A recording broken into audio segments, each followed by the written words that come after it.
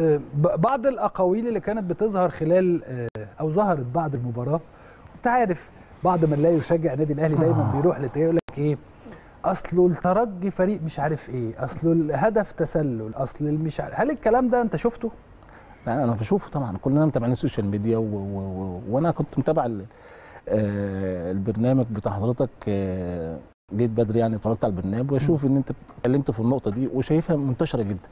الجون offside الترجي ما بقاش في مستواه. لا آه. الترجي فريق كبير جدا. أيوه. وكون ان هو يوصل الترجي ده واخد آه، مجموعة. أفريقيا واخد أفريقيا آه، يعني آه، بطولة أفريقيا. فده معناه إن هو فريق قوي فريق محترم آه، له جماهيرية له عنده لعيبة آه، كون إن هو يخسر لا بيخسر من النادي الأهلي.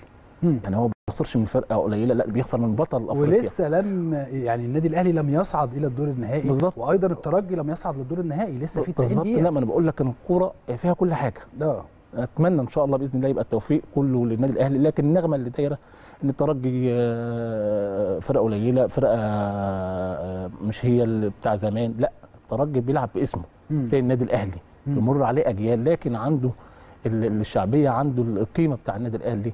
لا الترجي آه، فرقة محترمة وأتمنى إن شاء الله بإذن الله إن لعيبة الأهلي تبعد خالص عن كل ال- الأجواء أو كل النغمة اللي دايرة دي لأن دي هتأثر على اللعيبة برضو. إن اللعيبة بتسمع برضو وبتشوف. طبعا طبعا. فأتمنى إن شاء الله بإذن الله آه، يعني الأيام تقرب كده ونعدي المباراة دي لأن المباراة هتبقى صعبة جدا يعني.